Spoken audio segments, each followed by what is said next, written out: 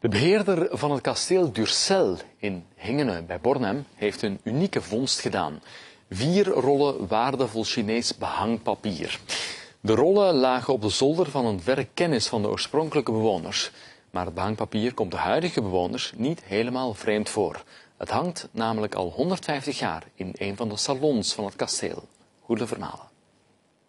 Het kasteel in Hingenen was bijna vier eeuwen lang een buitenverblijf van de hertogen Durcel uit Brussel. Intussen is het eigendom van de provincie Antwerpen. De grote salon is al sinds het midden van de 19e eeuw behangen met erg waardevol Chinees papier. En onlangs deed de provincie een bijzondere ontdekking.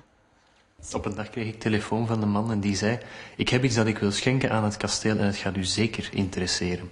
Die man is gekomen en die had vier rollen bij, mysterieuze rollen. Ik wist echt niet wat ik zag, het was knalroos. Ik herkende natuurlijk onmiddellijk wat ik voor mij had, dan een beetje verder gerold.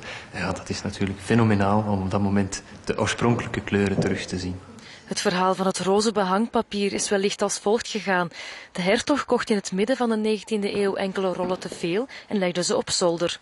Toen de familie Durcel het kasteel 30 jaar geleden achterliet, haalde de rentmeesteres de rollen in huis. Kennissen van de rentmeesteres hebben de rollen nu teruggebracht. Specialisten spreken van een unieke vondst.